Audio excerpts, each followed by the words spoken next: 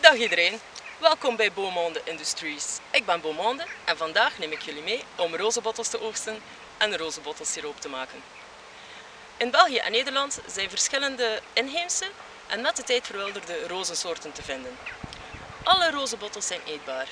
Let wel op met de gecultiveerde rozen, want deze zitten bijna gegarandeerd onder de pesticiden. Ook wilde rozensoorten kunnen onder de chemicaliën zitten. Op culinair vlak wordt al snel gekozen voor de bottels van de rimpelroos, omdat deze dik en vlezig zijn. In de fytotherapie maakt men dan weer gebruik van de hondsroos of de alpenroos. Augustus tot september staat in het Groot Handboek der Geneeskrachtige Planten aangegeven als het beste moment om te oogsten. Voor culinair gebruik kan dat oogsten tot veel later in het jaar, zelfs tot na de eerste vorst. De rozenbottels worden ook al eens een nacht ingevroren, omdat ze daarna zoeter smaken. Oogst sowieso de mooie rode bottels met een strak velletje, zonder beschadigingen.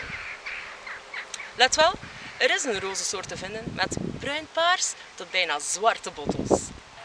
Ik wil een eenvoudige rozenbottelsiroop maken om mezelf en mijn familie te beschermen tegen de komende winterkwalen. Ik kies dus voor de bottels van de hondsroos, ook wel bekend als de Rosa canina. Ik zorg ervoor dat ik zeker weet dat dit de plant is die ik zoek. Ik kijk of ze gezond is, genoeg vruchten draagt en als er nog hondsrozelaars in de buurt staan. De kwaliteit van de bottels. Rood, strak, stevig en zonder beschadigingen. Deze is mooi, strak en stevig. Vraag jezelf nog eens af. Is het oké om van deze plaats van deze plant te plukken? Pluk altijd met respect voor de plant. Bescherm jezelf met handschoenen en gepaste kledij.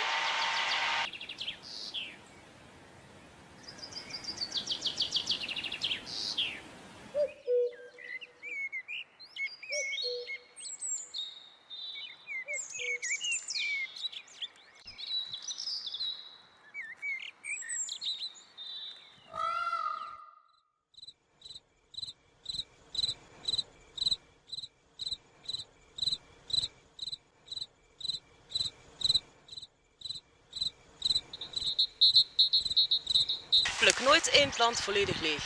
Laat ook nog wat voor mij over. Oogst nooit meer dan wat je onmiddellijk kan verwerken. De kwaliteit van het plantenmateriaal gaat achteruit van het moment het geplukt is. Vlug naar huis om siroop te maken. Welkom in deze authentieke 70er jaren keuken. Het was zeer degelijk materiaal in die tijd.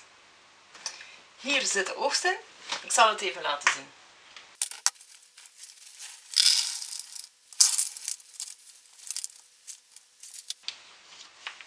Twee vergieten vol. Snij eens een rozenbottel doormidden. Kijk hoe mooi de zaadjes in de bottels zitten. Ze worden extra beschermd door deze haartjes die jeuk en irritatie kunnen veroorzaken. Daarom is het belangrijk ervoor te zorgen dat deze hoe dan ook niet in het eindproduct terechtkomen. Tenzij je natuurlijk jeukpoeder wil maken. Eerst worden ze gewassen.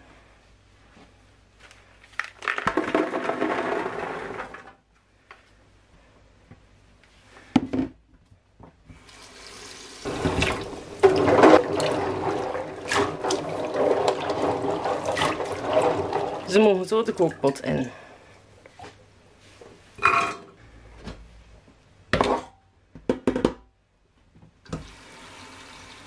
Dan worden ze net niet onder water gezet. De pot mag op het vuur met een deksel. Zo. En dan laten we die zeker 10 minuten pruttelen. Na 10 minuten koken kijk ik of het vruchtvlees goed zacht is. Ja.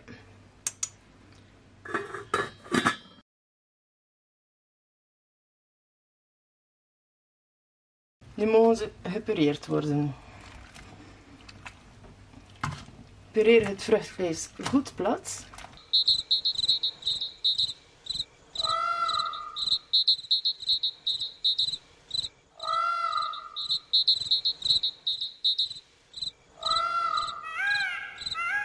Zo is het een hele dikke pap. Nu voeg ik nog een deel kokend water eraan toe. Alles nog eens goed omroeren. Zo, dat is al beter. Daar gaan we een mooie siroop van maken. Ik breng het geheel nog eventjes aan de kook.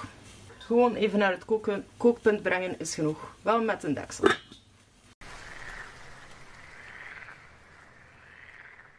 Ik haal alles door een dubbele neteldoek. Of kaasdoek. Dat is hetzelfde. Giet voorzichtig.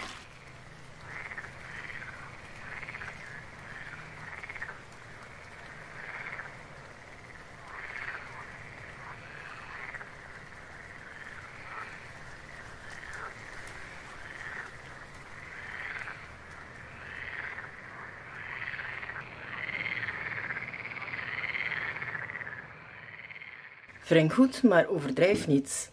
Anders blijven er stukjes, kleine stukjes vruchtvlees in je siroop zitten.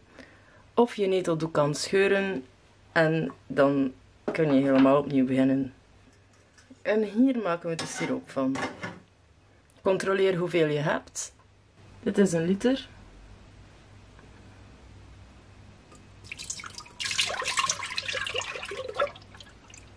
Om de siroop lang houdbaar te maken voeg ik 62% suiker toe. Dat is 620 gram per liter. Eerst brengen we het afkooksel terug naar een kookpunt. Als het kookt, voeg ik de suiker toe.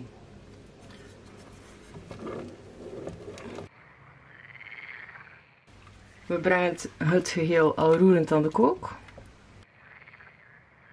Je kunt er natuurlijk ook minder suiker in doen, maar dan zal de siroop minder lang houdbaar zijn.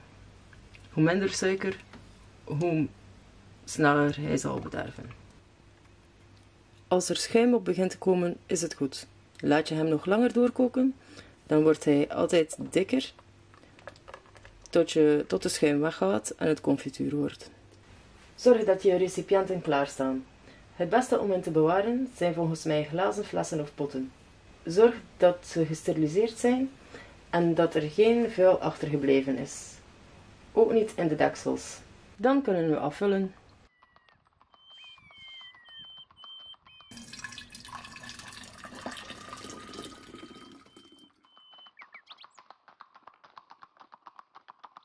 Maak duidelijke etiketten met de datum van vandaag en de inhoud. Dit is dan de roze bottelsiroop. Bewaren we een koele, donkere kast, berging of kelder en volgend jaar kunnen we weer nieuwe maken. Wil je meer te weten komen over kruidige planten? Geef me dan een like, abonneer je en stem geregeld af op dit kanaal, Beaumonde Industries. Alle vragen en reacties zijn welkom in de comment section. Bedankt voor het kijken en tot snel. Krijg je niet genoeg van dit kanaal? Wil je nog meer te weten komen en wil je mij zien groeien? Kijk dan zeker eens op mijn Patreon. Dat is een digitaal platform dat de mogelijkheid biedt voor fans om Beaumont Industries te steunen. Zodat ik meer vrijheid krijg om eraan te werken, nog veel tijd kan steken in kwalitatieve video's maken en verdere ideeën kan uitwerken. Zonder die steun is het veel moeilijker om te groeien. In ruil hebben we meer interactie, geef ik uiteenlopende kruidige content terug en hou ik je op de hoogte van mijn persoonlijke ontwikkeling. Check het maar eens via deze link. Ik kijk er naar uit je daar te zien.